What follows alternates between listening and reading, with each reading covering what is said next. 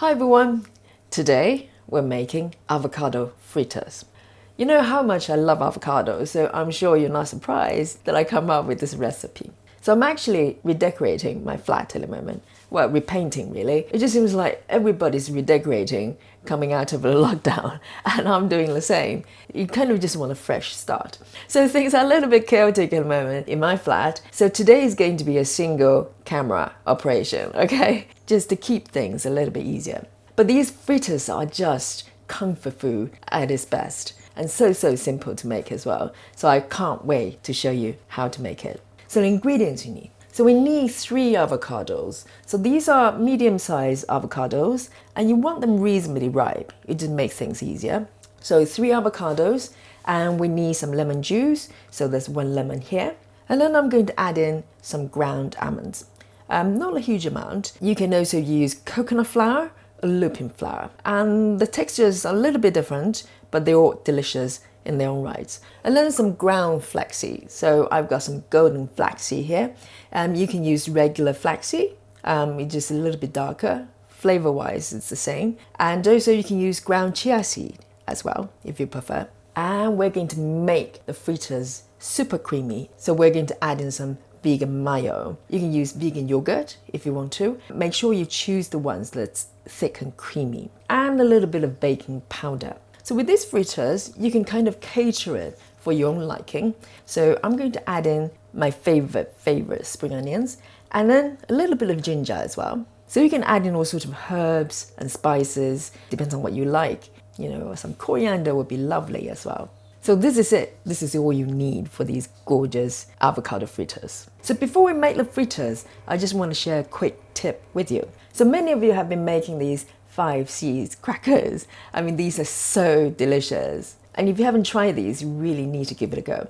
And if you've been making them as frequently as I do, I just want to share with you what I do to make my life easier. I make probably a couple batches minimum a week. So what I do is basically creating pre-mixed packs. So this is what I've got here. So basically I put all ingredients in the bag. So these are reusable bags. It kind of seals really well. So I put all ingredients in the bag, and that is the seeds, the seasonings, and also the psyllium husk powder, or if you're using flaxseed. So all ingredients in the bag, pre-mixed. So I make three to four packs like this. All you have to do is make sure they're sealed properly and then you can keep them in your cupboard whenever you need them. And the great thing about them is that whenever you want some crackers, all you have to do is to tip the content in a mixing bowl. So just give it a quick mix like this and then open it up and just tip everything in the mixing bowl. And then just add in half a cup of cold water. Give it a mix. And then you can get the oven started while you're resting the mixture and um, you're good to go.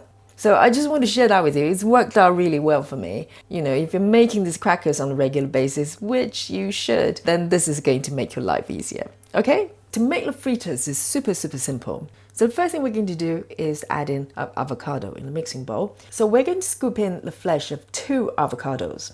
And we're going to leave one on the side for now. And then we're going to add in two tablespoons of lemon juice. So this is going to give the fritters wonderful flavors and also to preserve the color of the avocado.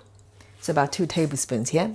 And then I'm going to scoop in my vegan mayo. So I've got about three tablespoons of vegan mayo, roughly. So the great thing about this recipe is that you don't have to be super accurate and depends on the size of your avocado, you can kind of adjust the quantity of the ingredients as you go along. And then our ground flax seeds. So I've got two tablespoons here, just pop it in. And then I'm going to just sprinkle some salt in there. I'll probably add more if I need it. And some ground black pepper. And then our ground almonds as well. So I've got 80 grams here. And then what I'm going to do is blitz everything with my handheld blender. You can do the whole thing in your food processor if you prefer. I'm just going to mash everything together.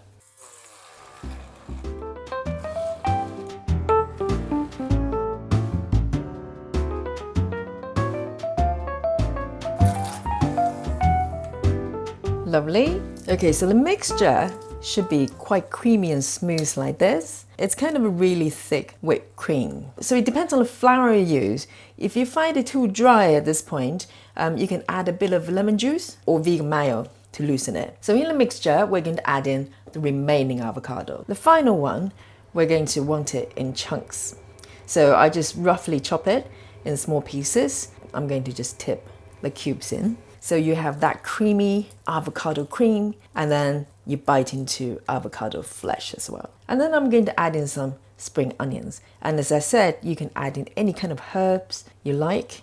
I love spring onions. And I'm also going to add in my ginger as well. So the quantity is really up to you. Um, I just grate it finely. I always think that in a recipe, if you combine all the things you love, you really can't go wrong with it. So this is what I'm going with. And then I'm going to just quickly kind of have a little dab to check my seasoning. Hmm. Maybe a little bit more salt. So you want to adjust the seasoning to your liking. Okay, so the mixture for our fritters is done. So the mixture of our fritters is pretty delicate. So instead of pan frying it, we're going to bake it. It makes life easier. So what I've got here is my baking tray and I'm placing a layer of baking sheet on top. And then I'm going to drizzle some olive oil to grease the bottom. So these fritters need some oil. So this will give the fritters that golden brown finish. And then take your mixture here. And I'm going to scoop in kind of a spoonful here. And then just drop it on the baking sheet. Like that. It will be irregular in shape and it's part of the charm. Like that. So it creates this beautiful nuggets. Lovely. And then I'm going to just brush a little bit of olive oil on top of all of them. Just dab a little bit. And this will give them that golden brown surface. Okay, so this is ready to go into the oven. They look so adorable. So we're going to bake these fritters in a 200 degree preheated oven. We're going to bake the first side for about 15 minutes and then flip them over and bake for further 10 minutes or so till they're golden brown.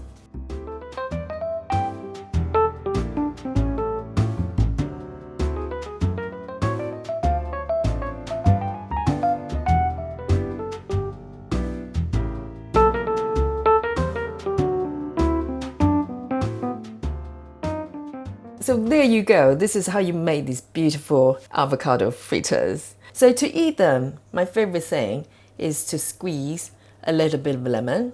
And then my guilty pleasure is to have it with a bit of mayo and a bit of keto ketchup as well. So this is comfort food at its best, okay? So I'm gonna put a little bit of mayo and a bit of ketchup. this is this is nursery food. Seriously, this is kung fu food This is best. So I'm going to take a bite. Mmm, mmm, so light and creamy. I don't know whether you can see it. It's so creamy in the middle. This is really something you want to eat when you need a hug. And you bite into chunks of avocado as well, warm avocado. It's just lovely. This would be wonderful as a starter if you're having you know people around for meals. And now we're allowed to have meals with people. So I hope you like today's recipe and we'll give it a go. These fritters are so gorgeous and so great to eat.